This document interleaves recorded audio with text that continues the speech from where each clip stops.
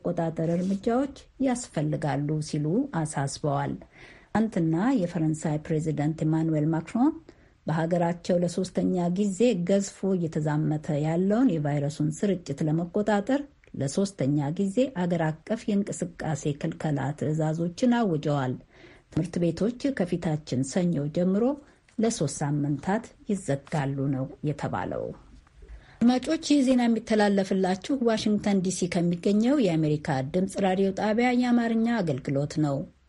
ባለፈው ጥር ወር በማዕከላዊ ማሊ በተካሄደው የፈረንሳይ የአየር ድብደባ 19 ሲቪሎች ተገድለዋል የሚለውን የተባበሩት መንግስታት ድርጅት ዘገባ ፈረንሳይ አልተቀበለችም። የአየር ጥቃቱ በሳህል ቀጣና የሚካሄደው ጸረ አሸባሪ እንቅስቃሴ አካል መሆኑን የአሜሪካ ድምፅ ዘጋቢ ኒኮለስ ፒኖ ከፓሪስ በላከው ዘገባ አስታውቋል። አዳነች ፍስሐዬ ዝርዝሩን ይዛለች። ባውንቲ በተባለው በማዕከላዊ ማሊ በሚገኘው መንደር እንደ አውሮፓ አቆጣጠር ባለፈው ጥር ሶስት ቀን የተፈጸመው ኩነት ማሊ በሚገኘው የተባበሩት መንግስታት ድርጅት የሰላም ጥበቃ ተልዕኮና በፈረንሳይ መካከል ጠብ የፈጠረ ጉዳይ ሆኗል። አንድ የተባበሩት መንግስታት ድርጅት ያካሄደው ምርመራ የፈረንሳይ የአየር ድብደባ የሰርግ ስነ ስርዓት ይካሄድ የነበረበትን ቦታ መጥቶ ሲቪሎችንና ሶስት ታጣቂዎችን ገድሏል የሚል ዘገባ በያዝነው ሳምንት ይፋ አድርጓል። ሶስቱ ታጣቂዎች ካቲባ ሰርማ የተባለው ጽንፈኛ ቡድን አባላት ናቸው ተብለዋል። የፈረንሳይ ባለስልጣኖች ግን የሰርግ ስነ ስርዓት አልተመታም፣ ያደረስነው ጉዳትም የለም በማለት ላለፉት ሶስት ወራት ያህል ሲያስተባብሉ ቆይተዋል። ጋዞን በንጹሐን ዜጎች ላይ የደረሰውን ጥቃት እናወግዛለን ሲሉ የኢትዮጵያው ጠቅላይ ሚኒስትር አብይ አህመድ ሰሞኑም በተለያዩ ሀገሪቱ ክፍሎች በታጣቂ ኃይሎች የተገደሉ ንጹሐን ዜጎችን ጉዳይ አስመልክቶ በዛሬው ዕለት ባወጡት መግለጫ አስታወቁ። መንግስታቸው በፌዴራልና በክልል በቅንጅት የአጻፋ እርምጃ በመውሰድ ላይ እንደሚገኝም ተናግረዋል። ጠቅላይ ሚኒስትሩ በደረሰው ጥቃት ለሟች ቤተሰቦችና ለኢትዮጵያ ሕዝብ የተሰማቸውን ሐዘን በገለጹበት በዚህ መግለጫቸው የመላው ኢትዮጵያ ሕዝብ ወደ ጥፋት ኃይሎች ወጥመድ ላለመውደቅ በማስተዋል እየተጓዘ በእንደዚህ አይነት ጉዳዮች ከመንግስት ጋር ተባብሮ ጥፋተኞችን ወደ ህግ ለማቅረብና እንደዚህ አይነት ግድያዎችን ፈጽሞ እንዲቆሙም በትብብር ልንሰራ ይገባል ብለዋል። በሌላ ተያያዥ ዜና በአማራ ላይ የሚፈጸመውን ግድያ የፌዴራል መንግስት አስቸኳይ መፍትሄ እንዲሰጥ ሲሉ የአማራ ክልል ርዕሰ መስተዳድር አገኘሁ ተሻገር አሳሰቡ። በሌላ ዜና ምዕራብ ወለጋ ዞን በአቦ ገንቤል ወረዳ ውስጥ ለተፈጸሙት የሰላማዊ ሰዎችን ሕይወት ለቀጠፉ ጥቃቶች መንግስት ኦነግ ሸኔ ብሎ የሚጠራቸውን ታጣቂዎች ከሷል። በጥቃቱ 28 ሰው መገደሉና ከ10 በላይ መቁሰሉንም ባለስልጣናቱ አረጋግጠዋል። መጠሪያው የኦሮሞ ነጻነት ሰራዊት እንደሆነ የሚናገረው ሸማቂ ቡድን የምዕራብ አዛዥ ነኝ ያሉት የቡድኑ መሪ ግን ክሱን ያስተባብላሉ። ሰለሞን አባተ አነጋግሯቸዋል። ቃለምልሳቸው ቀጥሎ ይቀርባል። ጤና ይስጥልኝ። ለጊዜው አመሰግናለሁኝ። በቅድሚያ እስቲ ወደ ደወልኩበት ጉዳይ ከመግባቴ በፊት ራስዎን ያስተዋውቁልኝ ከአድማጮች ጋር። እሺ፣ እኔም አመሰግናለሁ ስለሰጠኝ እድል። መሮ እባላለሁ። በኦሮሞ ነጻነት ሰራዊት ምዕራብ የዘዛኝ ነኝ። መሮ የለም መሮ ተገድሏል፣ መሮ ሞቷል እየተባለ ብዙ ሲወራ ይሰማል። ሰምተዋል ይመስለኛል። እርሶም አንዳንድ ጊዜ እንደውም በምስል የተደገፉ መረጃዎች ሲሽከረከሩ አይተናል። በሌላ በኩል ደግሞ መሮ ነኝ እያሉኝ ነው እርሶ አሁን። አዎ እነዚህ አይነት ፕሮፓጋንዳዎች ይሰማሉ። እንግዲህ መንፈስ አይደለሁም ከኔ ጋር እያወራህ ነው ሌላ ማረጋገጫ ሊሰጥ አልችልም ሰለሞን። እሺ ለጊዜው ይበቃኛል። አሁን በሙሉ ስሞ ልጥራዎት ወይስ ደግሞ በመሮ ብቻ ላነጋግሮት? ተመሮ ያነጋግራል። እንግዲህ ትናንት የወጡ ዜናዎች ብዙ ሰላማዊ ሰው ምዕራብ ወለጋ ውስጥ እንደተገደሉ ተነግሯል። መንግስት ደግሞ እነዚህን ሰዎች የገደሏቸው ኦነግ ሽኔ የሚላቸው ታጣቂዎች ናቸው ብሏል። ምንድን ነው የእርስዎ ምላሽ ለዚህ? ሰለሞን መንግስት ኦነግ ሸኔ ነው የገደላቸው ካለ እንግዲህ ኦነግ ሸኔ የሚባል ድርጅት ፈልገህ ማናገር ነው ያለብህ። መንግስት ገዳዮቹ ኦነግ ሸኔ ናቸው ብሎ ደግሞ ክስ አቅርቧል። ስለዚህ officially የቀረበበት ክስ ሸኔ የሚባል መልስ ብሰጥ አይሻልም? የማይመለከተኝ ስለሆነ ማለት ነው። እናንተ ኦነግ ሸኔ ናችሁ ነው የሚለው መንግስት እናንተን ለማለት ነው ምሮ መንግስት ኦነግ ሸኔ የሚለው ይንገሩኝ እስቲ ማን እንደሆናችሁ እናንተ አንተ ቤተሰብ ያወጣልህ ሰለሞን ሆኖ እያለ በሌላ ሰለሞን አይደለህም ወይ ቦጋሌ ወይ ደግሞ ሌላ ጫላ ነህ ብልህ ትቀበላለህ ብዬ አላምንም። ስለዚህ እኛ የማይመለከተን ጉዳይ ሳንጠራ አቤት የምልበት ጉዳይ የለም። የኦሮሞ ነጻነት ሰራዊት ነን። በዚህ ስም ደግሞ የቀረበብን ክስ የለም። የምመራው ሰራዊት የኦሮሞ ነጻነት ሰራዊት ነው የሚባለው። በዚህ ሰራዊት ላይ ደግሞ ምንም አይነት ክስ በእነኚህ ሰዎች አልቀረበም። ምሮ በዚህ ትናንት ተፈጸሙ በተባሉትም ይሁን እስከ ትናንት በተፈጸሙት ግድያዎች ውስጥ የኦሮሞ ነጻነት ሰራዊት እጅ አለ? የኦሮሞ ነጻነት ሰራዊት እንደዚህ አይነት ግድያ ውስጥ እጁን አያስገባም። በዚህም አይነት መልኩ ምንም አይነት በእኛ ሰራዊት የተከሰተ ግድያ የለም። እንደዚህ አይነት አንድን ብሔር ዕላማ ያደረገ ጥቃት ይቅርና አንዲት ነፍስ በኦሮሞ ነጻነት ሰራዊት እጅ ማለቴ የሲቪሊያን ወይ ደግሞ የንጹህ ዜጋ ነፍስ ብትጠፋ ሀርሽ የሆነ በጣም በ disciplinary የሚጠየቅበት ይሄንን አይነት ግድያ የሚፈጽም የኦሮሞ ነጻነት ሰራዊት ማለት ነው። እንደዚህ አይነት ህግ ነው ያለንና ይሄ ነገር ተደጋገመ።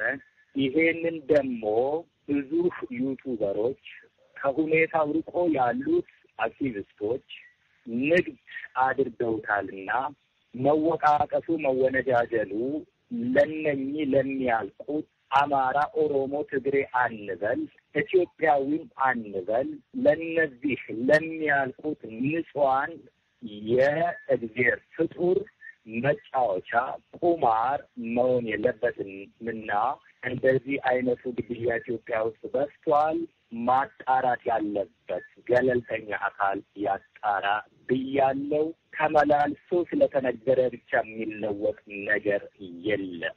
አንተን ገለናል ብለው ብዙ ዜናው ስስሩ ነበር እንዳልክ ውሸቱ በዛ። ማድረስ፣ መግደል፣ ማፈናቀል ቢሆን ስራችን ይህን ናይል አመት አይወስድብንም። መሮ አይደለንም። እሺ እና ተስፈኞች ነን። ተስፋ የቆረጠ ነው በዚህ አይነት ነገር የሚያደርገው። እኛ ደግሞ አሁን በዛ ደረጃ አይደለንም ያለ ነው። ከዚህም በፊት የኦሮሞ ነጻነት ሰራዊት የኦሮሞ ነጻነት ግንባር መሪ ጨምሮ ሌሎችም መሪዎች ወደ ሀገር በገቡበት ጊዜና የኦሮሞ ነጻነት ሰራዊት ለሁለት ለሶስት ተከፍሎ ትጥቅ የፈታበት ጊዜ ይበልጥ ብዙ መከራና ብዙ እንግልት ውስጥ የገባንበት ጊዜ አልነበረም። የዛንም ይሄንን ነገር አላደረግንም። እንኳን ዛሬ በዚህ ደረጃ ያለንበት ጊዜ ቀርቶ እዚህ ጋር ግን መንግስት ብቻ ሳይሆን ከጥቃት ተርፈናል የሚሉ ሰዎችም ጭምር የኦሮሞ ነጻነት ሰራዊት ናቸው ይሄንን ጥቃት ያደረሱብን እያሉ ይናገራሉ። እንደዚህ አይነት ጥቃቶችን የእናንተ ሰራዊት ላለማድረሳቸው የምታደርጉት ክትትል፣ ቁጥጥር የምትወስዱት እርምጃ አለ? የተጨበጠ ምን አድርጋችኋል እስካሁን? ይህንን ቅድም እንደነገሩኝ በስነ ምግባር የታነጸ ነው የሚሉትን ተግባራዊ ለማድረግ ወይም ለመቆጣጠር ጥቃት ስትፈጽም እኮ ነው አንተ እርምጃ የምትወስደው። እርምጃ መውሰድ አይደለም፣ ጥቃቱ አልተፈጸመም። እኛ እንደዚህ አይነት ነገር ጥቃት ይቅርና አንዲት ነፍስ በኦሮሞ ነጻነት ሰራዊት እጅ ላይ ብትጠፋ የሚወሰደው እርምጃ በጣም የከፋ ነው ነው ያልኩ። እንደዚህ አይነት ህግ ነው ያለን። ተላልፎ ቢገኝ ይረሸናል ነው የምልህ። እንደዚህ አይነት ነገር ክትትሉን አይደለም እርምጃውን አይደለም በኦሮሞ ነጻነት ሰራዊት እጅ እንደዚህ አይነት ነገሮች ተከብሮ ስለማያውቁ እንደዚህ አይነት ነገር ተከስቶ እንደዚህ አይነት እርምጃ ወስደናል የምልህ የለም። ስለዚህ ይሄንን ትናንት የተፈጸመውን ግድያ ምዕራብ ወለጋ ውስጥ ወይም ሌሎች ተመሳሳይ ግድያዎችን ምዕራብ ወለጋ ውስጥ እየተፈጸሙ ያሉ በሲቪሎች ላይ ብዙ እንግልት ያደረሱ ግድያዎችን መሮ እንደ ሰራዊት መሪ እና የኦሮሞ ነጻነት ሰራዊት በአደባባይ በግልጽ ያወግዛል። ያወግዛል ብቻም ሳይሆን ሀዘን ነው የሚሰማን። የሰው ልጅ የቁማር መጫወቻ ሲሆን ማውገዝ ብቻው በቂ አይደለም፣ ያመሃል። ኢትዮጵያ ውስጥ እየተገደለ ያለው የኢትዮጵያ ብሔር ሁሉ ነው ሰለሞን። ሁሉም ቦታ ግድያዎች አሉ። በመሪ ደረጃ እየተባለ ያለውን ሚዲያ ውስጥ እየዘገቡ ያሉትን ነገር መርምሩ። ሁልጊዜ የሚባለው ኦሮሞ ነጻነት ሰራዊት የሚንቀሳቀስበት ቦታ ብቻ አይደለም። ሰዎች በሚመቻቸው ትሩን ወይ ደግሞ በሚመቻቸው እንቅስቃሴ ሙዚቃ እየከፈትክ የምትደንስበት አይነት ሆኗል ኢትዮጵያ ውስጥ። የኔ ዘር ሞተ፣ የእከሌ ዘር ሞተ፣ የኔ ብሔር ሞተ የሚባለውን አይደለም ማየት ያለብኝ። ያ ቁማር ነው የሆነው። መሮ እናንተን በህወሀት ተላላኪነት ይከሳል መንግስት። ምንድን ነው ግንኙነታችሁ ከህወሀት ጋር? ከህወሀት ጋር ያልጨረስነው ቢዝነስ አለን እንደ ኦሮሞ ህዝብ።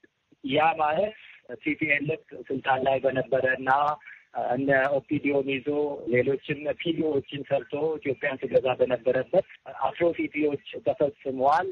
ያ ቀመሩ ወይ ደግሞ ምንድን ነው የሚባለው ህሳቡ አልተወራረደ ህሳብ ያልተወራረደበትን ከኦሮሞ ህዝብ ያላወራረደው ህሳብ አለበት እና ከህዋት ጋር እኔ እንደ አንድ ሰው በግሌ የሆነ ግንኙነት መፍጠር አልችልም።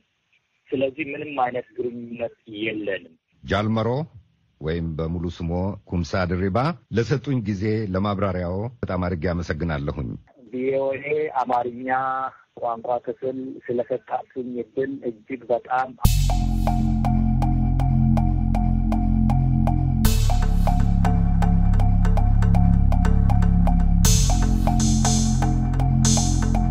ሸካ ዞን ጉራ ፍርዳና በአማሮ ልዩ ወረዳ በተፈጠረ የጸጥታ ችግርና ጥቃቶች በርካታ ሲቪሎች መገደላቸውንና የጸጥታ ኃይሎችም ጭምር መሰዋታቸውን የክልሉ ምክትል ርዕሰ መስተዳድር አቶ ርስቱ ይርዳው ዛሬ ማምሻው ላይ በሰጡት ጋዜጣዊ መግለጫ አስታወቁ። ባለፉት ሁለት ቀናት በጉራ ፈርዳ አስር ሰዎች በአማሮ ልዩ ወረዳ ደግሞ ባለፉት ሁለት ሳምንታት ውስጥ አስራ ሶስት ሰዎች መገደላቸውን የአካባቢዎቹ የዓይን እማኞች ለአሜሪካ ድምፅ ተናግረዋል። የክልሉ ርዕሰ መስተዳድር በመግለጫቸው አካባቢዎቹ በአሁኑ ወቅት መረጋጋታቸውንና ሰላም መመለሱን ቢገልጹም ነዋሪዎች ግን ዛሬም የደህንነት ስጋት እንዳላቸው ይናገራሉ። የሐዋሳው ዘጋቢያችን ዮናታን ዘብዲዮት ዝርዝሩን ይዘዋል። የክልሉ ምክትል ርዕሰ መስተዳድር አቶ ርስቱ ይርዳው ዛሬ ማምሻውን በሰጡት መግለጫ እንዳስታወቁት በሶስቱም አካባቢዎች በተፈጠረ ግጭትና በተሰነዘረ ጥቃት በጉራ ፈርዳና በአማሮ ልዩ ወረዳ ሲቪሎች ተገድለዋል። በምዕራብ ኦሞም በድንገት ተወሰደ ባሉት ባልተጠበቀ እርምጃ የመንግስት የጸጥታ ኃይሎች ተሰውቷልም ብሏል። አቶ ርስቱ በጉራ ፈርዳ የተፈጸመውን በዝርዝር ተናግሯል። ግሊት በምትባል ቀበሌ ውስጥ እዚሁ ወረዳ ብሔር ብሔረሰቦች ተቀላቅለው የሚኖሩበት አካባቢ ነው። የካቲት ስድስት ላይ በተፈጠረው አደጋ ስድስት የሚሆኑ ዜጎች ህይወታቸው ያጣንበት ሁኔታ ነው ያለው። እንደዚሁ ደግሞ የካቲት ሀያ ሁለት ላይ በዚያ አካባቢ የደረሰውን ችግር በዜጎቻችን ላይ በተደጋጋሚ እየደረሰ ያለውን ጥቃት በተደራጀ መንገድ ችግሩን ለመፍታት የተንቀሳቀሰ የጸጥታ ኃይል ወደ ሰባት የሚሆን ፖሊስ አባላት በጅምላ በጸጥታ ኃይሎች እርምጃ የተወሰደበት ሁኔታ ነው የነበረው። በጸጥታ ኃይሎቻችን ላይ እርምጃ ከወሰዱ በኋላ ትጥቆቻቸውንም አልባሳቱንም ጭምሩ መለዮቻቸውንም ጭምር ይዘው ነው የሄዱ ሽፍቶቹ እና ይሄ ኃይል ይሄን ትጥቅ ተጠቅመው እንደገና መልሰው ጉዳት ያደረሱበት ሁኔታ ከመጋቢት 7 እስከ 16 ባለው በዚሁ ወር ውስጥ እንደገና ተከታታይ የሆነ ጥቃቶች ያደረሱበት ሁኔታ እንዳለ ያው ህብረተሰባችን ይታወቃል። በእነዚህ ጊዜያቶች በስምንት ንጹሐን ዜጎች ላይ የህይወት አደጋ ደርሰዋል። መጋቢት 22 ላይ በነበረው ሁኔታ ሰባት የጸጥታ ኃይሎቻችን ላይ ህይወታቸው አጥተዋል፣ ተሰውተዋል። ሶስቱ የፖሊስ አባላት ናቸው። አራቱ የሚሊሻ አባላት ናቸው። ሰባት የሚሆኑት ደግሞ የአካል ጉዳት ደርሶባቸዋል። እጃቸውን በጥቃቱ ያስገቡ ያሏቸውን የመንግስት ስራ ኃላፊዎችን ጨምሮ የክልሉ መንግስት ወንጀለኞችን በቁጥጥር ስር ማዋሉም ገልጧል። በምዕራብ ኦሞ ዞን ማጂ ወረዳም በሁለት ብሔረሰቦች መካከል የተፈጠረውን ግጭት ለማርገብ በአካባቢው ሰፍሮ በነበሩ የክልሉ ልዩ ኃይል አካላትን ጨምሮ 11 ሰዎች መገደላቸውም ተናግሯል። ልዩ የፖሊስ ኃይላችን እዛ ቦታ መስፈሩ ያልተመቸው የሱርማ ታጣቂ ቡድን መጥቶ በልዩ ኃይላችን ላይ ያልተጠበቀ ጥቃት የሰነ የተሰነዘረበት ሁኔታ ነው የተፈጠረው እና በዚህም ምክንያት ሰባት ያህል የልዩ ኃይል አባሎቻችን የተሰዉበት ሁኔታ ተከስቷል። በአጠቃላይ በዚህ አካባቢ የሚሊሻ አባላትም አሉ የተሰዉ የአካል ጉዳትም የደረሰባቸው አሉ ነው ስድስት ያህል የልዩ ኃይል አባላት እንደዚሁ ደግሞ አምስት የሚሆኑ ደግሞ ሚሊሻ አባላት በድምሩ አስራ አንድ የሚሆኑ ህይወታቸው አጥተዋል፣ ተሰውተዋል። እንደዚሁ ደግሞ አስራ አምስት ያህል የአካል ጉዳት አጋጥሟቸዋል። በነበረው ሁኔታ የኃይል መበተንም ስላጋጠመ እስካሁን አድራሻቸው ያልታወቁ ዘጠኝ ያህል ልዩ ኃይል አባላትና ሚሊሻዎች ያሉበት ሁኔታ ለጊዜው ማወቅ አልተቻለም። ይሄ በጣም ከፍተኛ ጉዳት ነው። በአሁኑ ሰዓት በሁለቱ ህዝቦች መካከል ግጭት የለም፣ ቆመዋል። ስለዚህ አጥፊዎቹ ለህግ የማቅረብ እና በዚህ አካባቢ በኃይልና በአመፅ መንገድ በመሄድ አካባቢውን የሚረብሹ አካላትን ለማስታገስ በቀጣይነትም የተጠናከረ ስራ የሚሰራበት ሁኔታ ይኖራል። ሰሞኑን ጥቃት ከደረሰባቸው አካባቢዎች ሶስተኛው አካባቢ የአማሮ ልዩ ወረዳ ሲሆን ከሁለት ሳምንታት በፊት ለእርቅ ተቀምጠው ነበር ባሏቸው በሀገር ሽማግሌዎችና በመንግስት የስራ ኃላፊዎች ላይ በተፈጸመ ጥቃት ሰዎች መገደላቸውን ተናግረው አሁንም በወረዳው ያለው ህዝብ በስጋት ውስጥ መኖሩን አረጋግጧል። የጸጥታ ችግር የተፈጠረባቸው አካባቢዎች አሁንም ቢሆን ህዝባችን ውስጥ ስጋት አለ። መንግስት ድረሱልኝ የሚል ጥሪ ያቀርባል። መንግስት አቅም በፈቀደ መጠን እነዚህ ዜጎች ጋር ደርሶ ህይወት ለመታደግ ጥረት እያደረገ ነው። በስጋትነት የሚነሱ ነገሮች ለምን ሰጋ ብለን ይህንን ልናነሳ አንችልም። ትክክል ነው ማለት ነው እና ይህንን ችግር ግን የምንፈታው መንግስትና ህዝብ አብሮ ከቆመ መንግስትና ህዝብ ከጸጥታ ኃይሉ ጋር ማለት ነው ህዝቡ ከጸጥታ ኃይሉ ጋር አብሮ ከቆመ ግን የምንፈታው ችግር ነው የምንፈታው ችግር ነው ብለን ነው የምናምነው። ስለዚህ አንዳንድ አካባቢዎች የታጠቁ ኃይሎች ስላሉ እነዚህ የታጠቁ ኃይሎች ጥቃት ሊያደርሱ ይችላሉ የሚል የሚነሳ አለ። በዛ ምክንያት ህዝባችን በስጋት ከአንድ ቦታ ሌላ ቦታ ሽሽት የሚገባበት ሁኔታ ሊያጋጥም ይችላል። እንደዚህ አይነት ነገሮች ሊፈጠሩ ይችላሉ። በተለይ ደግሞ አሁን ወደ ምርጫ ስንገባ የዚህ አይነት አስተሳሰቦች ሊሰፉ ይችላሉ። በጉራ ፈርዳ ወረዳ በሳምንቱ መጨረሻ አስር ሰዎች በግፍ መገደላቸውን የጉራ ፈርዳ ወረዳ ነዋሪ ለአሜሪካ ድምፅ ተናግሮ ነበር። ሰዎች ሞተዋል፣ ተገለዋል። ከአስር በላይ ሰው ሞቷል። በርካታ ሰዎች ተፈናቅሏል። በቃ ሶስቱም ቀበሌ ተፈናቅሏል፣ ወጥቷል። ሶስት ቀበሌ ህዝብ ወጥቶ ከቀደሙት ይልቅ አሁን የሶስት ቀበሌ ህዝብ ወጥቶ ኩጃ ትምህርት ቤት ውስጥ ነው ተጠልሎ ያለ። ምንም ሌላ የተጋጨ የግል ቁርሾና የግል ጠብ ኑሯቸው አይደለም። በቃ ሆን ተብሎ ቀደም ሲል እንትን ሲሰራ የነበረው ይሄ ሆን ተብሎ ዘር ተኮር ለዛ መሳሪያ ተብሎ የተደራጁ ኃይሎች ናቸው በየቀጠናው እየተዘዋዛሩ የሚሰሩት ስራ ነው። የክልሉ መንግስት ይህንን በተመለከተ የተገደሉ ሲቪሎችን በቁጥር ባይዘረዝሩም በርካታ ሰዎች ተገለዋልም ብሏል። በተመሳሳይ በአማራ ወረዳም በጥቂት ቀናት ውስጥ በተፈጸመ ጥቃት ከአስራ ሁለት በላይ ሰዎች መገደላቸውን ስማቸው እንዳይጠቀስ የፈለጉ የወረዳው ነዋሪ ለአሜሪካ ድምፅ ተናግሯል። ዛሬ ጠዋት ላይ ደግሞ ማሳ ላይ የነበሩ ሁለቱን አርሶ አደሮች ቆሬ ቀበሌ ላይ ከምዕራብ ጉጂ ሱሮ ባርጉዳ ወይ ሜጣሪና ጋልማ ከተባሉ አካባቢ የመጡ ጉጂዎች የታጠቁ የጉጂ ሰራዊት ወይም ሚሊሻዎች ሁለቱን አርሶ አደሮችን ሊገሉ የቻሉት አርሶ አደሮቹም አርሶ አደር አዶኛ ሉቃስና አርሶ አደር ኢሳ ሹል የተባሉ በከረዳ ቀበሌ እንደዚሁ በዘጠኝ ከረዳና ሸሮ ቀበሌ ላይ ግድያ ተፈጽሟል። ስለዚህ በዛው የቀጠለበት ሁኔታ አለ። ከረዳ አሁን በመቀጠል እንደዛው በከረዳ አካባቢ ላይ ከፍተኛ ተኩስ ልውውጥ ተደርገዋል። እጅግ በጣም የታጠቀ ኃይል በምዕራብ ጉጂ ዞን በሱሮ ባርጉዳ ወረዳና በገላና ወረዳ ላይ የገቡበት ሁኔታዎች ከሰው አቅም በላይ በሆነ ሁኔታ ጥቃት እየፈጸሙ ነው ያሉት አካባቢ ላይ ማለት ስለዚህ በሁለት ሳምንት ውስጥ አስራ ሁለት ሰው የሞተው ማለት ነው። አቶ ርስቱ መንግስት ሰላም ለማረጋገጥና የህግ የበላይነትን ለማስከበር ጥረት እያደረገ መሆኑን ገልጧል። በአሁኑ ሰዓት አካባቢው ሰላማው ሰላም ነው ያለው። ነገር ግን አሁንም ቢሆን እነዚህ የታጠቁ ኃይሎች ሰላማዊ በሆነ መንገድ ትጥቃቸውን ለመንግስት አስረክበው ሰላማዊ በሆነ መንገድ ባጠፉት ጥፋት ለህግ የሚቀርቡበት ሁኔታ እንዲፈጠር የጀመርናቸው ስራዎች አሉ። የአካባቢ የመስተዳደር አካላት አገር ሽማግሌዎችም ጨምሮ የተጀመሩ ስራዎች አሉ። ሰላማዊ በሆነ መንገድ አካባቢው ያለው ውጥረት እንዲረግብ እንፈልጋለን። ግጭት እንዲቆም እንፈልጋለን። ይህ ኃይል በሰላማዊ በሆነ መንገድ አሁንም ትጥቁን አውርዶ ጥያቄዎች ካሉትም ሰላማዊ በሆነ መንገድ ለመንግስት ከመንግስት ጋር ቀርቦ ውይይት አድርጎ ችግሮች እንዲፈቱ የማያደርግ ከሆነ ደግሞ የጸጥታ ኃይሉ ከህብረተሰቡ ጋር በመሆን አስፈላጊውን እርምጃ የሚወስድበት ሁኔታ ይኖራል። እስካሁንም በነበሩ ሂደቶች ሁሉ አስፈላጊውን እርምጃ መያዝ የተቻለው ለህግ የማቅረብ መያዝ ያልተቻለውና ፍልሚያ ውስጥ ገብቶ አሻፈረኝ የሚለው ካለ ደግሞ ጸጥታ ኃይሉ ጋራ በመረጠው መንገድ እርምጃ እየተወሰደ የመጣበት ሁኔታ ነው ያለው። ይህንን የበለጠ ተጠናክሮ የሚቀጥልበት ሁኔታ ይኖራል። የአካባቢዎቹን ሰላም ለማረጋገጥ እየሰራሁ ነው የሚለው የክልሉ መንግስት በቀጠናዎቹ ሰላም ተፈጥሮባቸዋል ይበል እንጂ የአካባቢዎቹ ነዋሪዎች ግን አሁንም የደህንነት ስጋት እንዳለባቸው ተናግሯል። ለአሜሪካ ድምጽ ራዲዮ ዮናታን ዘብዲዮስ ሐዋሳም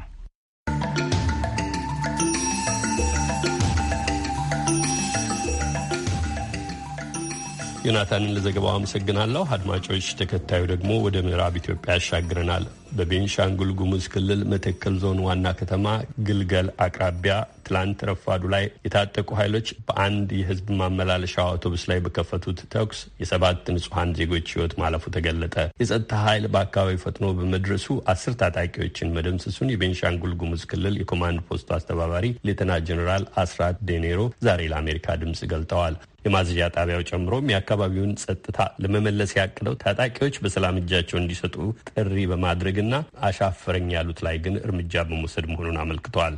በእስካሁኑ እርምጃውም ቁጥራቸው 3500 የሚደርስ ታጣቂዎች እጃቸውን ሰጥተው የተሃድሶ ስልጠና እየወሰዱ ነው ብሏል። አስቴር ምስጋናው ከሌተና ጀኔራል አስራት ዴኔሮ ጋር ያደረገችውን ቆይታ እንዲህ ታቀርበዋለች።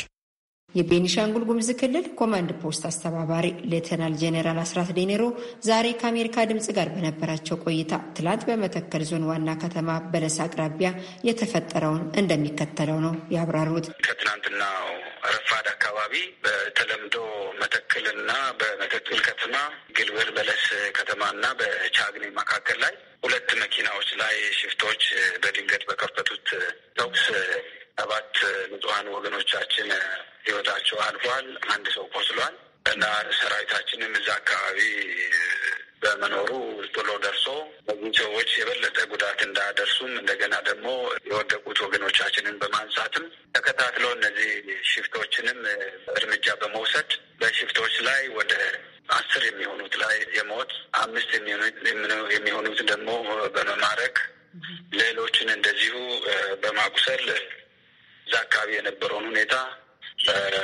በወቅቱ አረጋግጠው ከዛ በኋላ ወደ ሌሎች አካባቢዎችም ሽፍቶችን በመከታተል እርምጃ እየወሰዱና አሰሳ እያደረጉ ያሉበት ሁኔታዎች አሉ። በክልሉ የተቋቋመው ኮማንድ ፖስት አካባቢውን ወደ ቀደመ ሰላሙ ለመመለስ እየሰራ ያለው በሁለት መንገድ መሆኑን ጄኔራሉ ገልጸዋል። የመጀመሪያው ሽፍታ በማለት የጠሯቸውን ታጣቂዎች የሰላም ጥሪ ተደርጎላቸው ወደ አካባቢው እንዲመለሱ ማድረግና ሁለተኛው ደግሞ እምቢ ባሉት ላይ እርምጃ መውሰድ ነው ብለዋል። ታጣቂዎች ነበሩ። ታጣቂዎች በሁሉም ወረዳዎች ላይ ያሉት በሰላም እንዲገቡ እና በየጫካው ሆነው ሰራዊታችንም እየተዋጋ ኦፕሬሽን እየተሰራ እንደዚሁ በተለያየ ቦታ ላይም እየሾለኩ ህዝቡ ላይ ጉዳት እንዳያደርሱ የሰላም ጥሪ ጎን ለጎን እየቀረበላቸው በሰራዊቱ ከፍተኛ መስዋዕትነትም እየተከፈለም ቢሆን የኦፕሬሽን ስራዎች ተሰርቶ የሚደመሰሰውም እየተደመሰሰ በሰላም የሚገባውም በሰላም እየገባ በአምስቱም ወረዳዎች ላይ አስቀምጠናል። እነዚህ ሰዎች እነዚህ ሰዎች ቀጣይ ደግሞ ታድሶ መግባት አለባቸው። ታድሶ ሳናረግ ብለን መበተን አንችልም። ዝም ብለን ከበተንን አመለካከታቸውን ህገ መንግስታዊ አመለካከት፣ ህዝባዊ አመለካከት፣ ብዝሃነት አመለካከት፣ የአንድነት እና አብሮ የመኖር የመሳሰሉት ጉዳዮች ላይ በተዘጋጁ ጽሁፎች ላይ ውይይት ተደርጎ ታድሶ ላይ ተማምነን ወደ የመኖሪያ ቤታቸው ወደፊትም የሚቋቋሙ ይሆናል። ዝም ብሎ የሚጣሉ አይደሉም፣ ዜጎች ናቸው። እንደዚህ ካላደረግን ሰላም አይመጣም። ተመልሶ ህዝባችንን ነው የሚጎዳው፣ ሌላ አይደለም። እነዚህ ሰዎች ዝም ብለን እንደፈለጋቸው ሆኑ ብለን ብንጥላቸው ተመልሶ ለህዝቡ ነው ጠንቅ የሚሆኑት የሚበሉትን ካጡ ማንከታተላቸው ከሆነ። ስለዚህ ይሄ ነው እየተደረገ ያለው። ይሄ ደግሞ ለህዝብ ደህንነት እንጂ ለታጣቂው በመስራት ወይ ደግሞ ለታጣቂው የተለየ ጥቅም ለማድረግ አይደለም እና ህዝባችንም ሊገነዘብ የሚገባው ኮማንድ ፖስቱ ይሄንን አስቦ እየሰራ ነው። አሁንም ቢሆን በተቻለ መጠን እነዚህ ሰዎች በሰላም ስለገቡ ከነሱ የወጣ ብሎ ደግሞ አደጋ የሚያደርሰውንም እርምጃ እየወሰድን እርምጃ ተወስዷል። ቅድም እንደሰማችሁ እና ሌሎችም የቀሩት ደግሞ ሁሉም ቡድኖች በሰላማዊ መንገድ ወደ ታድሶ ገብተው ታድሳቸውን ወስደው እንደ ማንኛውም ህብረተሰብ በእርሻም በተለያየ መንገድም እንዲቋቋሙ የሚደረግበትን ጥረት ነው የምናደርገው እንጂ እነሱ ምን ከመጡ በኋላ የራሳቸው ጉዳይ ከተባለ ጉዳቱ ለሀገርም ለህዝብም ስለሆነ ነው። እስካሁን ምን ያህል በቁጥጥር ስር ውለዋል? በተደረገላቸው ጥሪ መሰረት እስካሁን ሶስት ሺህ አምስት መቶ ተፈናቅለው ያሉ ዜጎችን ወደ መጡበት ቀይ ለመመለስ ከሰላም ሚኒስቴር ጋር በጋራ እየሰሩ መሆኑንም ሌተናል ጄኔራል አስራት ዴኔሮ ተናግረዋል። አሰልጥነናል። የቀሩን አካባቢ ቀበሌዎች አሉ። እሱ አካባቢ ያሉ ቀበሌዎችን የማሰልጠን አንዳንድ በግጭቱ የቀሩ ደግሞ አካባቢ ማጠናከር ያለባቸው የመንግስት ተቋማትን የማጠናከር ልክ እንደ ትምህርት ቤቶች፣ ጤና፣ ግብርና ማሰልጠኛዎች የመሳሰሉትን የማጠናከር ስራዎች ባለሙያው እዛ እንዲገባ ለማድረግ እነዚህ እነዚህን እያጠናከርን እንደገና ህዝቡ ተመልሶ የእርሻ ግብአቱን አግኝቶ መልሶ የሚቋቋምባቸውን በሰላም ሚኒስትርን በኩል ተቀናጅተን እየሰራን ነው እና ይህንን ይህንን ጨርሰን በአጭር ጊዜ ውስጥ እንመልሳለን ብለን የመጨረሻ እቅድ ላይ ያለን ነው ያጋጠመን። ይህም ቢሆን ከተረጋጋና ብዙ ነገሮችን ወደ ቦታው ከመለስን ከመጋቢቱ ወር ብዙም ሳይዘል በመጋቢትና በሚያዝያ አካባቢ ህዝቡን ለመመለስ አቅደናል።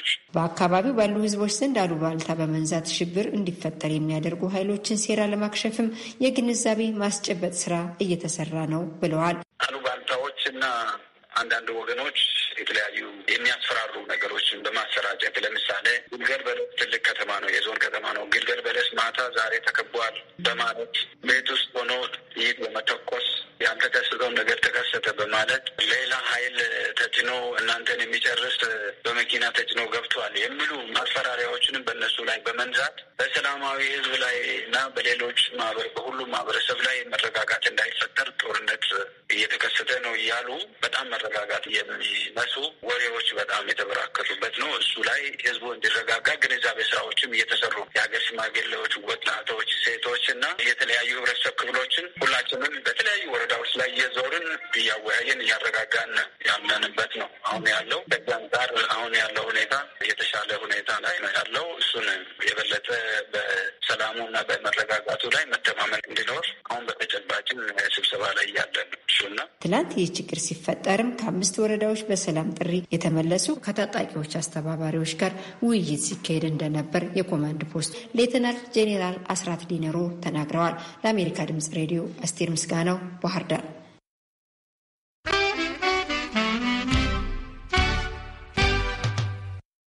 ተከታዩ ደግሞ አድማጮች ወደ ጅጅጋ ይወስደናል።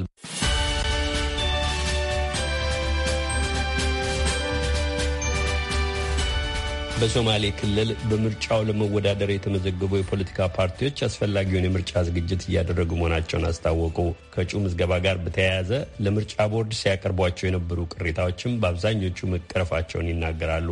ባለፈው ሳምንት ወደ ጅጅጋ አምርቶ የነበረው ዘጋቢያችን አዲስ ቸኮል የተፎካካሪ ፓርቲ አመራሮችን አነጋግሮ ተከታዩ በሶማሌ ክልል ለስድስተኛው ብሔራዊ ምርጫ ለመወዳደር የተመዘገቡ የፖለቲካ ፓርቲዎች ለምርጫው አስፈላጊ ዝግጅት እያደረጉ መሆናቸውን ለቪኦኤ ገልጸዋል። በክልሉ ለሚካሄደው ምርጫ ገዢው ፓርቲ ብልጽግናን ጨምሮ ኦብነግ፣ የምዕራብ ሶማሌ ዴሞክራሲያዊ ፓርቲ፣ የነጻነትና እኩልነት ፓርቲ እንዲሁም ኢዜማ እጩዎቻቸውን አስመዝግበው ለምርጫ ዝግጅት እያደረጉ መሆናቸውን አስታውቀዋል። ኢዜማ፣ ኦብነግና ምዕራብ ሶማሌ ዴሞክራሲያዊ ፓርቲ በእጩ ምዝገባ ወቅት ከጊዜ ጥበትና ከምርጫ ቦርድ ቅርንጫፎች ዝግጁነት መዘግየት እንዲሁም ከመልክዓ ምድር አመቺ አለመሆን አንጻር ማስመዝገብ ያልቻላቸውን እጩዎች በተመለከተ ለምርጫ ቦርድ ያቀረቧቸውን ቅሬታዎች አብዛኞቹ ምርጫ ቦርድ እንደፈታላቸው ዛሬ ለቪኦኤ አስታውቀዋል። ሆኖም አሁንም የሚቀሩ አሉ ባዮች ናቸው። በሌላ በኩል በምርጫ ጣቢያዎች ያሉ የመንግስት ሰራተኛ ምርጫ አስፈጻሚዎች አብዛኞቹ ለገዢው ፓርቲ ያዳላሉ የሚል ክስ ኦብነግና ምዕራብ ሶማሌ ቢያቀርቡም ምርጫ ቦርድም ሆነ ገዢው የሶማሌ ክልል ብልጽግና ፓርቲ ግን ወቀሳውን አልተቀበሉትም። የምርጫ ቦርድ እምነት የማይጣሉበት የምርጫ አስፈጻሚዎች ላይ አስፈላጊ ጥቆማ እንዲሰጥ ጥሪ ማቅረቡን ተከትሎ ከሶማሌ ክልል የቀረበ ጥቆማ አለመኖሩን የቦርዱ ቃል አቀባይ ሶሊያና ሽመለስ ለቪኦኤ አስታውቀዋል። የኢዜማ ጅጅጋ ቅርንጫፍ ጽህፈት ቤት ኃላፊ አቶ ጥላሁን መልኬ ፓርቲያቸው በሶማሌ ክልል የአማራ ፓርቲ ነው የሚል አረዳድ በአንዳንዶች እንዳለ ገልጸው ይህን አመለካከት ግን ፕሮግራማቸውን እያስረዱ እያሳመኑ መሆናቸውን ይናገራሉ። አንዳንድ የገጠመ ምንድን ነው ዜማ የአማራ ፓርቲ ነው አንዳንድ ቦታ ያጋጠመ ነገር ግን ዜማ ለምሳሌ ቀብድ ዳህር ተወዳዳሪ የቀብድ ዳህር ልጆች ናቸው። እዛው ማህበረሰብ የሚያውቃቸው ህዝቡን ለማስረዳት የሚችሉ ቋንቋም በራሳቸው ቋንቋ የዜማ ፕሮግራሙ ሲያዘጋጅ የፖለቲካ ፕሮግራም ሁሉም በቋንቋው በሶማሊያ ቋንቋ ነው ሁሉም ክልሉ ሲንቀሳቀስ ሁሉም ያሉ ማህበረሰቡ ባከበረ ቋንቋውንም ሁሉንም ነገር ባከበረ መንገድ ነው የሚንቀሳቀሰው እና የራሳቸው ልጆች ናቸው። ምክንያቱም የዜማ የሚከተለው ትክክለኛ ፌዴራሊዝም ያልተማከለ አስተዳደር ያልተማከለ አስተዳደር ማለት ምሳሌ ወስደን ጅጅጋን የጅጅጋ ልጅ አስተዳደር፣ ሶማሌ፣ አማራ፣ ሌላው ሌላው አይደለም። የጅጅጋ ልጅ አስተዳደር እሱም በህዝብ የተመረጠ ለዛም አሁን ማህበረሰቡ እየተረዳ ነው። ያልተማከለ አስተዳደርና ህዝባዊ ተቀባይነት ያላቸው እጩዎችን ማቅረብን በመስፈርትነት ቢጠቀሙም በመስፈርታቸው መሰረት በእጩዎች ካቀረቧቸው 66 ተወዳዳሪዎች መካከል ግን 62ቱ በብሔራቸው ሶማሌ መሆናቸውንም እግረ መንገድ ጠቅሰዋል። ያም ሆኖ አንዳንዶች ጎሳቸው እየተጠቀሰ ሁሉ ላለመመዝገብ እንቅፋት እንደሚያጋጥማቸው አቶ ጥላውን ይናገራሉ። የምዕራብ ሶማሌ ዴሞክራሲያዊ ፓርቲ ከ1960ዎቹ ጀምሮ የትጥቅ ትግል ማድረጉን ትቶ ከሽግግር መንግስቱ ጀምሮ በክልሉ ፖለቲካ ላይ እየተሳተፈ የሚገኝ አንጋፋ የፖለቲካ ፓርቲ መሆኑን የሚናገሩት የፓርቲው ሊቀመንበር አቶ ሂርሲዶን የክልሉ ምርጫ ቢያሸንፉ ክልሉን በተሻለ ሁኔታ ለመምራት የሚያስችል ፕሮግራም እንዳላቸው ይናገራሉ። ከዚህ በኋላማ ተወዳድረን ካሸነፍ ያው ለህዝቡ ጥሩ ያው ፕሮግራም አለ እና ፕሮግራም ደግሞ እናስተዋወቃለን። ህዝቡ በጊዜው ያስታወቅ ነው። ለወደፊትም እናስተዋወቃለን። አሁን campaign ኑ ሲጀመር ስብሰባዎችን እያካሄድ ማሳወቅ ነው። ይህ ድርጅት ነባር ድርጅት ነው። ለምሳሌ ቻርተሩን የፈረሙትን ፓርቲዎች አንዱ ነው። ሽግግር መንግስት ለበርካታ ዓመታት ሲያካሄድ የነበረውን የትጥቅ ትግል ትቶ በሰላማዊ መንገድ ለመታገል ወደ ሀገር የገባው ኦብነግ ከክልሉ ስፋት አንጻር ሁሉንም ነዋሪ ለመድረስ ቢቸገሩም አስፈላጊውን ዝግጅት እያደረጉ መሆናቸውን የፓርቲው ቃል አቀባይ አብዱ አብዱልቃድር ሀሰን ሂድሞጌ ይገልጻሉ።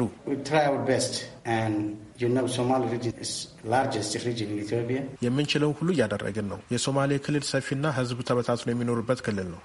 በመሰረተ ልማትም ዝቅተኛ ነው። እናም ህዝቡን ለመድረስና ለማናገር አስቸጋሪ ነው። ግን የምንችለውን እያደረግን ነው። እጩዎቻችንን በሁሉም ቦታ ለማቅረብ እየጣርን ነው። መራጮቻችንም እያዘጋጀን ነው። ይህ ምርጫ ለሶማሌ ህዝብ አዲስ ነው፣ ለኢትዮጵያም አዲስ ይመስለኛል። ምርጫው እውነተኛ ነው ወይስ እንዳለፉት አምስት ምርጫዎች የውሸት ነው የሚለውን እናያለን። የምርጫ ስርዓቱም፣ ህጉም፣ መራጩም፣ አስመራጩም፣ የምርጫ ሂደቱም፣ ተቋማቱም ሁሉም ነገር የውሸት ነበር። ህዝባችን የትክክለኛና ነጻ ምርጫ ልምድ የለውም። መራጮቻችንንና እጩዎቻችንን ለዚህ ማዘጋጀት ቀላል አይደለም፣ ግን የምንችለውን ሁሉ እያደረግን ነው ነው ያሉት። ከዚህ ባሻገር በክልሉ የተከሰተው ድርቅም በምርጫ ዝግጅታቸው ላይ ጥላው እንዳጠላበት ነው አቶ አዳነ የሚናገሩት። የክልሉ ገዢ ፓርቲ ብልጽግናም ለምርጫ ዝግጁ አይደለም፣ ሙሉ ስልጣኑ ጠቅልሎ ለመያዝ ነው ፍላጎቱ ሲሉ ይከሳሉ።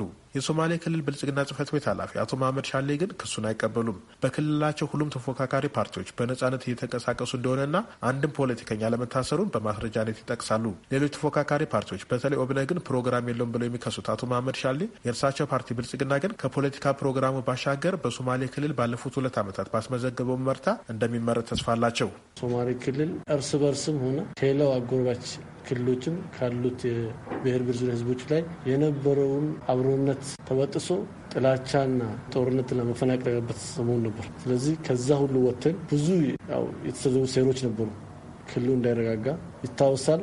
የክልሉ የወቅቱ የነበረው አመራር እኛ ከዚህ ከወጣን እንደ ባግዳድ ይሆናል ሶማሌ ክልል እንጂ መልሶ ተቋቁሞ አብሮ ሶማሌ ክልል እንደ ክልል የሚቀጥል ብሎ እምነት የላቸው አልነበራቸውም። በሁለት የተለያየ መድረኮችም ዛቻ መስፈራሪዎችም ሲያደርጉ ነበር። ከዛ ተነስተ ዛሬ ክልል ደግሞ አብዛኛው በሀገሪቱ ክፍል የተረጋጋና ሰላም ያለበት ክልል ማድረግ ችለናል። ስለዚህ ፖለቲካሊ ሰላምም ልማትም ብነሳ የነበሩት የሶማሌ ክልል በትምህርትም በጤናም በመሰረተ በመንገድም የተለያዩ ተአምር ስራ የተሰሩ ስራዎች አሉ። የሰራናቸው ስራዎች በለውጥም በሂደትም ያሳየናቸው ተጨባጭ ነገሮችም ህዝቡ የነበረው expectation ከዛ በላይ ምንችላል። ምክንያቱም የነበረው ችግር ሁሉም በግሉ ለውጡን expect የሚያደርገው ነበሩ ነበር። ያን ነገር ያው ማሟላት ሁሉም ይቻላል ባይባልም በሰራናቸው ስራዎች even politically mentally ሰው free ሆኖ ማሰብ ከቻለም ትልቅ ነገር ነው። ከሳምንት በፊት ባገኘነው መረጃ መሰረት ብልጽግና፣ ኦብነግ፣ ኢዜማ፣ ነጻነትና እኩልነት ፓርቲ እንዲሁም የምዕራብ ሶማሌ ዴሞክራሲያዊ ፓርቲ በቅደም ተከተል በርካታ እጩዎችን ያስመዘገቡ ሲሆን የእጩዎቹን ቁጥር ግን እስካሁን ድረስ የተመዘገበና በምርመራ ሂደት ላይ ያለ ስለሆነ መናገር አልተቻለም። የተመዘገቡ እጩዎችን ቁጥር ከምርጫ ቦርድ ለማግኘት ያደረገው ጥረትም አልተሳካም። በክልሉ ካሉ ተወዳዳሪዎች መካከል የነጻነትና እኩልነት ፓርቲ ለማግኘት ያደረገው ተደጋጋሚ ሙከራ አልተሳካም። ለአሜሪካ ድምጽ ሬዲዮ አዲስ ና በቤንሻንጉል ክልል አድርገው የነበሩ ቁጥራቸው ከስምንት መቶ በላይ የሚደርስ የአማራ ብሔር ተወላጆች በክልሎቹ በተፈጠሩ የጸጥታ ችግሮች ሳቢያ ተፈናቅለው ወደ ደቡብ ወሎ ዞን መግባታቸውን የዞኑ አደጋ መከላከልና ምግብ ዋስትና ጽሕፈት ቤት አስታወቀ። ይህም ካለፉት ሶስት ዓመታት ወዲህ ተፈናቅለው ወደ ዞኑ የገቡትን ሰዎች ቁጥር ከአስር ሺህ በላይ እንዲያሻቅብ አድርጎታል ይላል ጽሕፈት ቤቱ። መስፍን አድራጌ ተከታትሎታል። የጽህፈት ቤቱ ኃላፊ መሳይ ማሩ ከአሜሪካ ድምጽ ሬዲዮ ጋር በነበራቸው ቆይታ እንዳስታወቁት በኦሮሚያ ክልል ወለጋና በቤንሻንጉል አካባቢዎች ባለው የጸጥታ ችግር ምክንያት 827 የአማራ ብሔር ተወላጆች ቤት ንብረታቸውን ጥለው ባለፉት ሶስት ቀናት ወደ ደቡብ ወሎ መግባታቸውን ጠቁመዋል። ቀደም ሲል ከክልሉ ተልኮ የነበረውን ምግብና ምግብ ነክ ያልሆኑ ድጋፎች ለተፈናቃዮቹ እንዲውል መደረጉን አስረድተዋል። እነዚህን ተፈናቃዮች ደግሞ ጊዜያዊ መጠለያ ወይም ማረፊያ አመቻችተን already ወደዛ ቦታ እንዲሄዱ ያደረግንበት ሁኔታ አለ። ቦታውም እንግዲህ ተሁለደሬ ሀይቅ ከተማ የሚባለው መካነ ኢየሱስ የሚባል ካምፕ አለን። እዛ በቁጥር ወደ 497 የሚሆኑ ተፈናቃዮች አስገብተናል። በተመሳሳይ ደግሞ አንድ 10 ኪሎ ሜትር ዝቅ ብለን ጃሪ ላይ ወደ 332 የሚሆኑ ተፈናቃዮች እዛ ቦታ ላይ ያስቀምጠናል። ይሁን እንጂ ከተፈናቃዮቹ ብዛት አንጻር ድጋፉ በቂ አለመሆኑን ያምናሉ። መካነ ኢየሱስ ላሉት ወደ 34.5 ኩንታል እህል ሰጥተናል። ወደ 86 ብርድ ልብስ ሰጥተናል። 86 የሚሆን ፍራሽ ሰጥተናል። እንግዲህ ይህ አንዱ ፍራሽ ለሁለት ለሶስት እንዲጠቀሙበት ለማድረግ ነው ጥረት የተደረገው እንጂ አንድ በአንድ እንስጥ ከተባለ የቀረበ ግብአት እጅግ በጣም አነስተኛ ነው። ጃሪም አካባቢ ላይ በተመሳሳይ ብርድ ልብስ እንደዚህ ወደ 101 ፍራሽ ወደ 72 ከዛ ውጭ ምግብ ነክ የሆኑትን ደግሞ በቀመሩ መሰረት ለአንድ ሰው 15 ኪሎ ግራም በወር በዛ መሰረት የተለያዩ ግብአቶችን ለማስገባት ጥረት አድርገናል። ስለዚህ የግብአት አቅርቦቱ አካባቢ ላይ አመጣጣቸው ድንገት ስለነበረ ተቋማችን ላይ የነበሩትን ግብአቶች አንድ ፍራሽ ለሁለት ለሶስት አንድ ብርድ ልብስ ለሁለት ለሶስት በጊዜያዊነት እንዲጠቀሙ ነው ያደረግነው። ክልሉ ግን ለእነዚህ ተፈናቃዮች ምግብ ነክም ምግብ ነክ ያልሆነ ድጋፍ በተሳቢ መኪና የላከበት ሁኔታ ነው ያለው። እሱ እንደደረሰን ጉድለቱን እያየን መረጃውንም በደንብ እያጠራን ለተጠቃሚዎች እንዲደርስ የማድረግ ስራ እንሰራለን። እጥረቱን በመሙላት የደሴ ከተማ ነዋሪ በተለይም ወጣቱ ያደረገውን አስተዋጽኦ አድንቀዋል። ኃላፊው ድንገት ነው የመጡት። ቁጥራቸው በጣም እጅግ ብዙ ነው። በቀጥታ ደሴ ነው የመጡት። ደሴ ከመጡ በኋላ ማህበረሰቡ ደግሞ በተለይ ገንዘብ በማዋጣት ምግብ ነክ የሆኑ በማዋጣት ማህበረሰቡን ቁርስና ምሳ ለተፈናቃዮች የደገፈበት ሁኔታ አለ። ወጣቶችም ይህን ጉዳይ ባለቤቱ ነው። ማህበረሰቡን የማስተባበር ስራ ሰርተዋል። እሱ በጎ ነገር ነው። የከተማዋ ነዋሪ ከምግብና አልባሳት ድጋፉ በተጨማሪ የተዳከሙ ሰዎችን ወደ ቤት በመውሰድ ድጋፍ ማድረጉ ታውቋል። በሆሮ ጉድሮ ወለጋ ዞን ጃርደጋ ጃርቴ ወረዳ አጋምሳ ቀበሌ ነዋሪ የነበረችው ሀይባ ደም ከወለደች አንድ ወር አይሞላትም። ያልጠናች ህፃን ይዛ አስቸጋሪ ጊዜ ማሳለፏን ነው የምትናገረው። በአካባቢው ብሔርን መሰረት ያደረገ ጥቃት መሰንዘሩ ተወልዳ ካደገችበት አግብታ ወግ ማዕረግ ካየችበት ቀይ እንድትፈናቀል እንዳደረጋት ገልጻለች። ፊት በጥይት ሲሉ በኋላ በካራ የገቡ ጊዜ ነፍሳችንን አምጥ ብለን ንብረት አልሸጥንም፣ ምንም ምንም አላልንም። ብድግ ብለን ለህይወታችን ለምንንም ቢሆን እንበላለን ብለን ወደ ሀገራችን እንግባ ብለን መጣን። በዝን የመጣ ነው። ሀብትም ልሸጥ ምንም ምንም ምንም አላለን። እንዲህ ያለው ቤታችንን ልቅቅ አድርገን ውጤት ቢጃፉ ራሱ አልተዘጋም። ልጅሽ ስንት ቀን ሆነ ከወለድሽ? ተተወለደች እንግዲህ ወርና እንዲዛ ይሆናታል። የወለድኩት መንገድ ነው። ተቤት የወጥቼ መንገድ እንዲወለድኩ ማለት ነው። ይረጋጋል፣ መንግስት ይደርስላል፣ ይረጋጋል አሉና እኔን ሆነ ቦታ ወደ መንገድ እንዲሸኙኝ እዛ መሀል መንገድ ሰወልድ ዘመድ ቤት ገብቼ እዛ እንዴተኛሁኝ ትንሽ በረድ ያለ ደግሞ ሊረጋጋ ነው አሉና አልጋውን ሰርቶ ቤትሽ መታረስ አለብሽ ብሎ ባለቤቴ ወደዛ ተመልሼ አንድ ቀን ህጄ ቤቴ ትኝት እንዲያልኩኝ ሀያ አምስት ሰው ዘው ጎረቤታችን ያለ ጊዜ በዛው ዲክ ብዬ ወጥቼ መጣሁ። በየመንገዱ እንግዲህ ገጠር ነው ሩቅ ነው ሀገራችን መኪና አይገባውም። ሲደክመኝ በየመንገዱ እያረፍኩ በየመንገዱ እያረፍኩ ካረም የደሴ ከተማ ነዋሪ ወይዘሮ ማርታ ታደሰ አራሷ እስክታገግም ለመንከባከብ ቤቴ አምጥቻታለሁ ይላሉ። ተፈናቃዮች መጥቶ ብዙ ሰው ፈሷልና አጋጣሚ እነሱን ላይ ስወርድ እሷን አገኘኋት እና በቃ በጣም በጣም ተሰማኝ። በጣም አለቀስኩኝ። ኑሮኝ ምናምን አይደለም አሁ እንደምታየው ቤቴ ይችናት ተከራይቼ ነው የምኖረው። የተሻለ ነገር ኑሮ ሳይሆን ባለኝ አቅም በቃ የሆነ ነገር ስለተሰማኝ እንድረዳት ፈለግኩኝ እና በቃ አናገርኳቸው ላይ ይዤ መጣሁ ማለት ነው ወደ ቤት። ከተፈናቃዮቹ አብዛኛውን ቁጥር የሚይዙት ህጻናትና ሴቶች ሲሆኑ የእድሜ ባለጸጎችም አሉበት። አስራ አምስት ዓመት ያልሞላት ሌላዋ የአጋምሳ ቀበሌ ታዳጊ በከተማዋ ነዋሪ እንክብካቤ ሲደረግላት አግኝተናታል። ስምሽ ማን ነው? ብርቅያካ ብርቅ ያከለ የት ነው የተወለድሽው? አጋምሳ። አጋምሳ የት ነው? አጋምሳ እዛ እኛ ሀገር ወለጋ። በምን ምክንያት መጣሽ? እዛ ሲገደ ወደ ሀገራችን መጣን። አገር ፍለጋ ወደዚህ ከወለጋ አሞራ አፋፍ ድረስ በምን መጣሽ?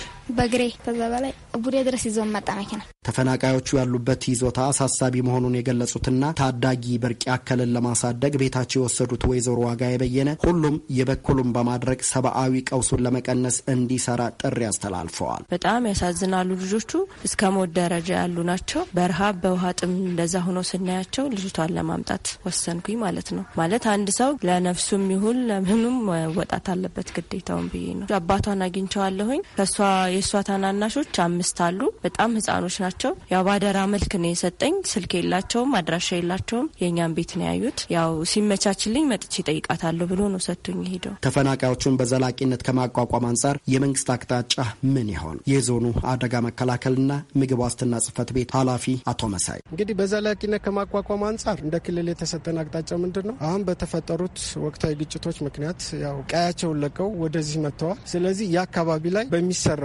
የህዝብ ለህዝብ ግንኙነት ስራ፣ የአመራር ለአመራር ስራ አካባቢው ሰላም ከሆነ ሰላሙ የተረጋገጠ ከሆነ በቀጥታ መልሶ የማቋቋም ስራ ቀደም ሲል ወደ ተፈናቀሉበት አካባቢ የሚሰራ ነው የሚሆነው። ለውጡ ከመጣ ካለፉት ሶስት ዓመታት ወዲህ ከኢትዮጵያ የተለያዩ አካባቢዎች ተፈናቅለው ወደ ደቡብ ወሎ የገቡት ተፈናቃዮች ብዛት ከ10 ሺህ ማለፉን ከጽህፈት ቤቱ ያገኘነው መረጃ ያመለክታል። ከየካቲት 27 2021 ዓ ም ጀምሮ በኦሮሚያ ክልል ሆሮ ጉድሩ ወለጋ ዞን በተለያዩ ወረዳዎች ማንነትን መሰረት ያደረገ ጥቃት ተሰንዝሮብናል ያሉ አስተያየት ሰጪዎችን ዋቢ አድርጎ የዛሬ ሶስት ሳምንት ገደማ ቪኦኤ እንደዘገበው ህጻናትንና ሴቶችን ጨምሮ 42 ሰዎች በታጣቂዎች ተገለዋል። በሆሮ ጉድሩ ወለጋ ይመለከታቸዋል የተባሉትን የጃርደጋ ጃርቴ የወረዳ አመራር በተንቀሳቃሽ የእጅ ስልካቸው ላይ ለማግኘት ያደረግኩት ጥረት አልተሳካልኝም። የቤኒሻንጉል ጉምዝ ኮማንድ ፖስት አስተባባሪ ሌተናል ጀነራል አስራት ዴኔሮ በስጋትም ሆነ በመፈናቀል ከአካባቢያቸው የለቀቁ መኖራቸውን አምነው ከቀያቸው የተፈናቀሉትን ወደ ቀያቸው የመመለስ ስራ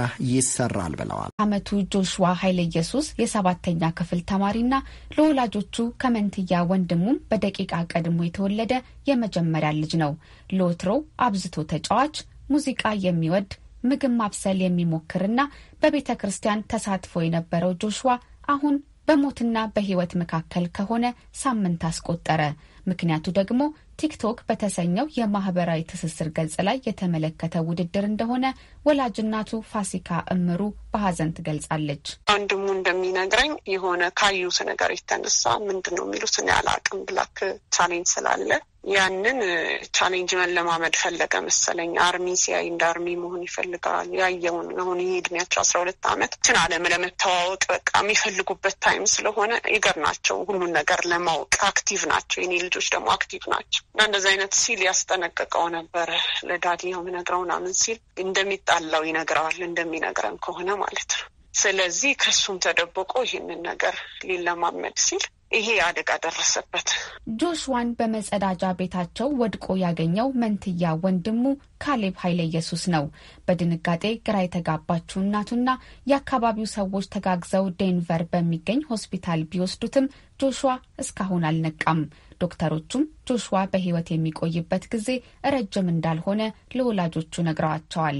እነሱ አሁንም ተስፋ ሰጥተውን አይደለም ምልሽ የራሳቸውን እውቀት ተናግረዋል። I appreciate እነሱ ለሚያደርጉት treatment ሁሉ አመሰግናለሁ። እውቀታቸውንም አደንቃለሁ። ነገር ግን ለሰው የማይቻል ይልና ለእግዚአብሔር ይቻላል ብሎ ይቀጥልልናል።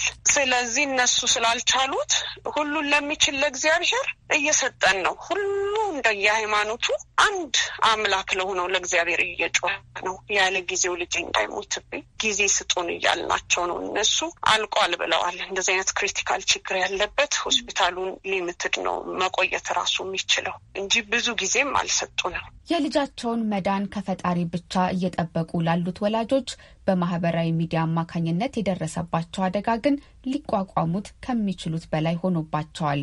አሁንም ደግሞ ሸክም እኔ ከብዶኛል። የማልፍበት በጣም ከብዶኛል። ግን ሸክምን የሚያክል ወደኔ ይዛችሁ ኑ ያለን ጌታ እኔም ደግሞ ዛሬ የከበደኝን እሱም እንደሰበከኝ ሸክም ይዤ ወደ ኢየሱስ መጥቻለሁና እግዚአብሔር መልካምን በዘመናችን ላይ ያደርጋል ብዬ እምነቴን እናገራለሁ። በብዙዎች ዘንድ blackout challenge በመባል የሚታወቀው ነገር ግን ከዚህ ቀደም pass out challenge ወይም ራስን የመሳት ውድድር the game of choking ወይም ራስን ትንፋሽ የማሳጠር ጨዋታና የመሳሰሉ ስሞች የነበሩት ውድድር በተለያዩ ማህበራዊ ሚዲያዎች አማካኝነት ሰዎችን ለአደገኛ ውድድሮች የሚጋብዝ ጨዋታ ሲሆን የህጻናቶችን ሕይወት አደጋ ላይ ሲጥል ጆሹዋ የመጀመሪያው አይደለም። ከአሜሪካ የበሽታ መከላከያና መቆጣጠሪያ ማዕከል ያገኘነው መረጃ እንደሚያመለክተው እንደ አውሮፓውያን አቆጣጠር ከ1995 እስከ 2007 ዓ ም ባለው ጊዜ ውስጥ 82 ሰዎች በዚህ ውድድር ህይወታቸውን ሲያጡ አብዛኞቹ ከ11 እስከ 16 ዓመት ዕድሜ ያላቸው ህጻናት ናቸው። በጆሿ ላይ የደረሰው አደጋ ወላጆቹና ቤተሰቦቹን ብቻ ሳይሆን መላውን የኢትዮጵያ ማህበረሰብ ያስደነገጠና እጅግ ያሳሰበ ክስተት ነው። ለቤተሰቡ የቅርብ ጓደኛ የሆነችውና የአስር ዓመት ሴትና የሰባት ዓመት ወንዶች ልጆች ያሏት ቤዛ ክንፈ እስካሁን በጆሿ ላይ የደረሰውን ለማመን እንደከበዳት ትናገራለች። ኃይለ ኢየሱስንና ፋሲካንም አውቃቸዋለሁ። እኔ እንደውም የምለው እነሱ ኃይለ ኢየሱስ በጣም የኮምፒውተር ሰው ነው። እነሱ ላይ ይሄ ሀተን ካረገ እኛማ አላለሁ። ምክንያቱም እኔ እነሱ ለወላጅነት ምክር ብትፈልጊ የምትደውይባቸው አይነት ሰዎች ናቸው። በዚህ ጊዜ especially ደግሞ አሁን በምንኖርበት አገር ብዙ ነገር ተዘግቶ ነው ያለው። ልጆች ብዙ ጊዜ ጊዜያቸውን የሚያሳልፉት ኢንተርኔት ላይ ነው። ትምህርታቸውን በኢንተርኔት ነው። ብዙ activity ዎችም ስለተዘጋ ከትምህርትም በኋላ የሚያደርጉት ሌሎች ከትምህርት የተለየ activity ዎች ኮምፒውተር ላይ ኢንተርኔት ላይ ነው ያሉት እና ከበፊቱ በላይ ብዙ ለኢንተርኔት ነገር ተጋልጠው ነው ያሉት ልጆቻችንን እና በጣም አስቸጋሪ ሁኔታ ነው ያለው ለእኛም፣ ለወላጆች፣ ለልጆችም። ቤዛ በማህበራዊ ሚዲያ አማካኝነት በጆሹዋ ላይ የደረሰው አደጋ ለሌሎች ወላጆች የማንቂያ ደውል እንደሆነም ትገልጻለች። በተለይ በኮሮና ወረርሽኝ ምክንያት ልጆች ለትምህርትም ሆነ ለመዝናኛ አብዛኛውን ሰዓታቸውን በኢንተርኔት ላይ የሚያጠፉ በመሆናቸው ጊዜያቸውን መገደብ ምን እንደሚያዩ መከታተልና በየጊዜው ሀሳባቸውን ማወቅ ከምንጊዜም በላይ አስፈላጊ ነው ትላለች። ሁላችንም በቀን በቀን ልጆቻችን ምን በኢንተርኔት ላይ ምን እንደሚፈልጉ ምን እንደሚያዩ በቻልነው መጠን ራሳችንን ማስተማር አለብን። እነዚህ ልጆች እኛም ሳናያቸው ምንድን ነው ሰርች እያደረጉ ያሉት ስለምንድን ነው ማወቅ እየፈለጉ ያሉትን ከልጆች ከጓደኞቻቸው ጋር ምንድን ነው የሚያወሩት የሚለውን ነገር በጣም መከታተል እንዳለብን አስባለሁ። እንደ ፌስቡክ፣ ትዊተር እና ጉግል የመሳሰሉ ግዙፍ የማህበራዊ ትስስር ኩባንያዎች በድህረ ገጾቻቸው ላይ የሚያሰራጯቸው መረጃዎች በህብረተሰቡ ላይ እያደረሱ ያለውን ጥፋት ለመቀነስ የአሜሪካ ምክር ቤት አባላት ርብርብ ላይ ናቸው። ባለፈው ሳምንት የኩባንያዎቹ ባለቤቶች በምክር ቤቱ ቀርበው ቃላቸውን እንዲሰጡ በተደረገበት ወቅትም የሪፐብሊካን ተወካዩ ካቲ ማክሞሪስ ሮጀርስ ኩባንያዎቹ ለልጆች አደጋ እየሆኑ መምጣታቸውን አስረግጠው ተናግረዋል። Your platforms are my biggest fear as a parent. I'm a mom of three school-aged kids. It's a battle for their development, a battle for their mental health, and ultimately a battle for their safety. እንደ ወላጅ የእናንተ የትስስር መድረኮች ትልቁ ፍርሃቴ ናቸው። ሶስት እድሜያቸው ለትምህርት የደረሱ ልጆች አሉኝ። ለእድገታቸው፣ ለአእምሮ ጤናቸውና ለደህንነታቸው አስጊ ነው። አልጎሪዝማችሁ ወይም በቡድን የምትበድቡት ነገር በደንብ ተከታትየዋለሁ። ወዴት እንደሚያመራቸውም አይቻለሁ።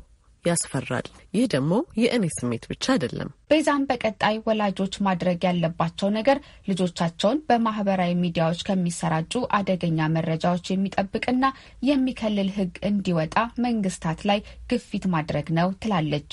እንዲያውም ከሌሎች ወላጆች ጋር ተነጋግረን ምንድን ነው ማድረግ የሚገባን ይሄ ነገር መንግስት ጋር ደርሶ እነዚህ ኢንዱስትሪ ኢንተርኔት company ዎችን apps develop የሚያደርጉ ሰዎችን ምን ማድረግ አለባቸው የሚለውን ነገር force ለማድረግ እና ድምጻችንን ውሳኔ ወደሚወስኑ ደረጃ ላይ ለማድረስ ወደፊት የምንሰራው ነገር ነው። action መወሰድ አለበት። ያ እስከሚሆን ግን ልጆችን የመጠበቅ ኃላፊነት አሁንም ወላጆች ጋር ይወድቃል።